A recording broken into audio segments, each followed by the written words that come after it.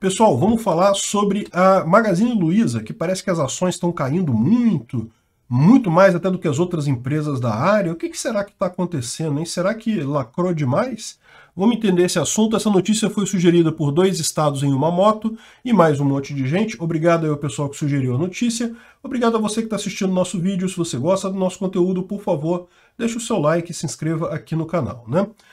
Bom, a Luísa Trajano todo mundo conhece, é uma empresária de muito sucesso aqui no Brasil, criou a Magazine Luiza, uma loja que foi uma das que melhor fez a transição para o e-commerce, e esse foi o, segredo do sucesso dela alguns anos atrás, né?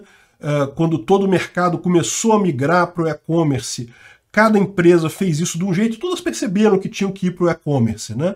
Uh, as pessoas irem à loja está cada vez mais raro hoje em dia, tudo você compra pela internet, é muito mais cômodo, recebe em casa, é tudo mais tranquilo, realmente é uma besteira você ir fisicamente numa loja para fazer as compras. E aí, dependendo da empresa, cada uma fez de um jeito e, lógico, algumas se deram bem, outras não. Por exemplo, a Ricardo Eletro dizem que se, justamente por ela evitar ir para o e-commerce, foi uma das mais prejudicadas, ficou só com lojas físicas, e daí o enorme problema que o, o Ricardo Eletro está tá tendo agora. Outras optaram por caminhos separados, por exemplo, a Americanas, né? As lojas americanas, você sabe, tem um monte de loja física por aí, e você tem americanas.com. Só que eles fizeram desse tipo, eles fizeram como duas operações separadas. É a mesma marca, a mesma empresa, mas é tudo separado. Uma coisa é o que você compra na loja, outra coisa é o que você compra no site.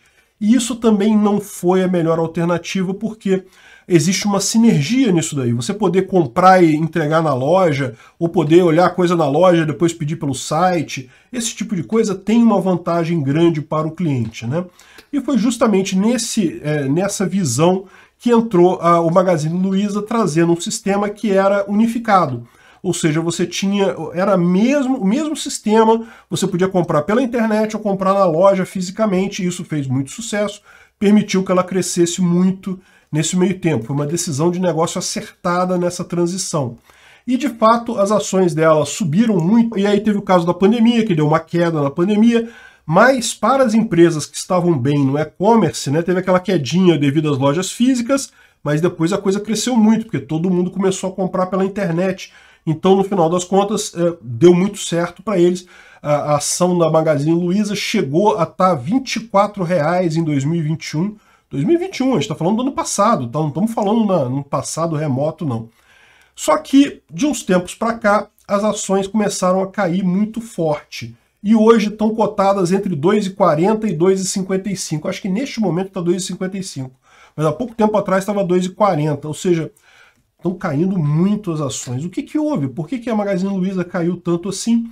Bom, e a resposta disso são duas coisas, na verdade. A primeira delas é que o e-commerce ele ainda é focado em aumentar de fatia de mercado, então você tem que entender que o, o principal objetivo de um e-commerce hoje em dia não é necessariamente apenas lucrar com as vendas, isso, lógico, é um dos objetivos, mas não é o principal. O principal é conseguir crescer mais, é ter mais fornecedores, atingir mais clientes, vender para mais pessoas. Por que isso? Porque é um mercado inexplorado, é um mercado que está crescendo agora. Quem conseguir se posicionar bem nesse mercado vai lucrar por muitos anos. Então é melhor até abrir mão um pouco do seu lucro naquela venda específica para ganhar mercado. Só que qual que é o problema desse tipo de coisa? Isso, além de você ter o problema da, da, do lucro menor, você pode, precisa de dinheiro emprestado. Você pega empréstimo para fazer esse crescimento do seu, da sua base. Né? E esses empréstimos ficaram muito caros quando o governo começou a subir a taxa de juros. Então você tem vários fatores aí. Você tem primeiro o fator da inflação, que está subindo muito, então os consumidores começam a cortar coisas, a não comprar determinadas coisas. Então, por exemplo, a Magazine Luiza, tal como a Casa Vídeo, Americanas, vende muita quinquilharia, coisa que não necessariamente é útil, né? Você compra, precisa e coisa e tal, mas é o tipo da coisa que, caramba, apertou, tô sem dinheiro, eu não vou comprar isso, né? Então, esse tipo de coisa é, você tem uma queda de venda grande. Né? Alimento, a pessoa não tem como deixar de comprar. Supermercado, a pessoa vai acabar comprando de qualquer jeito porque não vai ficar sem comer. Mas, ah, comprar um prato novo, uma panela nova, não, segura com a panela velha aí mais um tempo, não tá bonita não, mas ela aguenta mais um tempo aí o gasto e pronto, e vamos em frente. mais para frente a gente troca a panela. É o que está todo mundo fazendo nesse momento devido à inflação. E com isso, essas redes todas estão sofrendo. Então, é uma coisa importante notar que, embora a Magazine Luiza esteja realmente com ação mais baixa, é, isso é muito um reflexo da economia do país como um todo, não necessariamente só da empresa. É lógico, existem sim algumas coisas relacionadas à administração da empresa que são questionáveis. Né? A gente viu algumas ações lacradoras deles aí atrás, viu muito apoio ao PT, muito apoio a Lula, e a gente sabe que isso é uma coisa que não pega bem hoje em dia. Hoje em dia a sociedade como um todo está muito politizada, então muita gente olha assim, ah, e tá na Magazine Luiza, não vou comprar não, deixa para lá, vou comprar em outro lugar. Isso é uma coisa que acontece, as pessoas naturalmente associam é, é, você um, um, um, espectro político, e aí você virou um grande empresário para aquele espectro político. Né?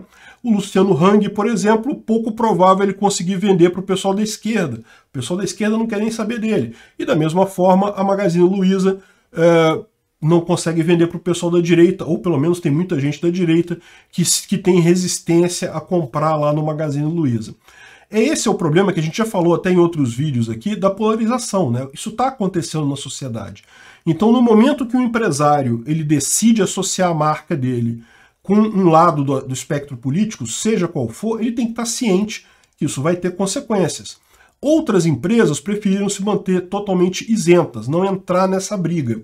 E embora também tenham tido queda, como eu falei, todas as empresas tiveram queda com a inflação, com a alta dos juros, Agora, com o estouro da bolha americana, a gente está vendo aqui no Brasil também um monte de empresas terem baixa nas ações, isso é natural, vai acontecer mesmo, mas o caso da Magazine Luiza é pior por conta disso, por conta dessa polarização política, por conta dela ter optado pelo lado vermelho da força, e no final das contas é, gerou esse tipo de problema para ela, né, para o negócio dela. Enfim, de novo, não é que ela vai falir por conta disso, ela não está pobre, está bem ainda, coisa e tal, não, não, tem, não é situação de desespero, mas sem dúvida alguma é uma ação questionável de negócios. Né? Agora, é aquele negócio também, você pode falar exatamente, exatamente o mesmo que você fala da, do Magazine Luiza, você poderia falar lá da, das lojas Avan, lá do Luciano Hang, que continuam crescendo muito, mas tem uma diferença, a lojas Avan não está na bolsa, né? ainda é uma empresa fechada, então é um, é um modelo diferente de negócio realmente. E é aquilo que eu falei para vocês, todas as marcas vão ter que se deparar com essa escolha agora.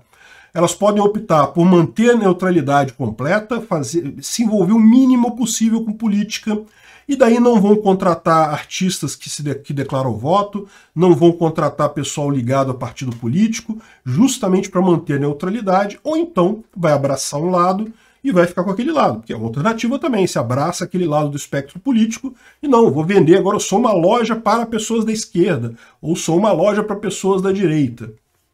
Eu, sinceramente, não acho que isso seja a melhor opção. A melhor coisa para uma loja é ela ser uma loja que vende produtos bem, e ponto final. E que tem bons produtos, e que tem um bom preço, e, e acabou a história, né? Uma outra coisa que está acontecendo também aqui, que a notícia deixa a, é, fala mais adiante, é a questão justamente do que eles chamam de camelódromo digital, a facilidade com que as pessoas compram coisas no exterior hoje em dia, né? Mas lógico, nesse caso aqui é bom para as pessoas, bom para os consumidores. Que papo é esse? Então quer dizer que ela pode comprar as coisas lá fora e revender aqui no Brasil, mas você não pode comprar diretamente lá fora? Que papo é esse, né?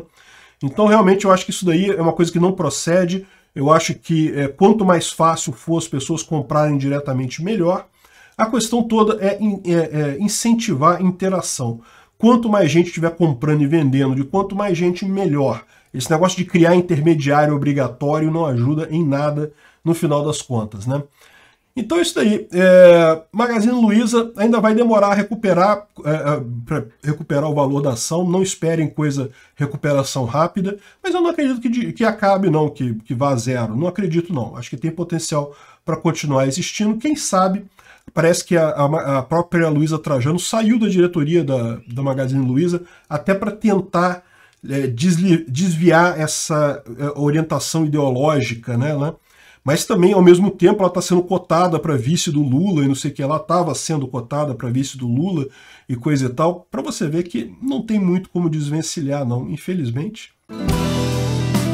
Obrigado por assistir o vídeo até o final. Além de curtir, compartilhar e se inscrever no canal, considere se tornar patrocinador com valores a partir de R$ 1,99 clique no botão Seja Membro abaixo para saber as condições e vantagens de patrocinar o canal. Mais informações sobre o nosso projeto, visite nossos sites indicados na tela.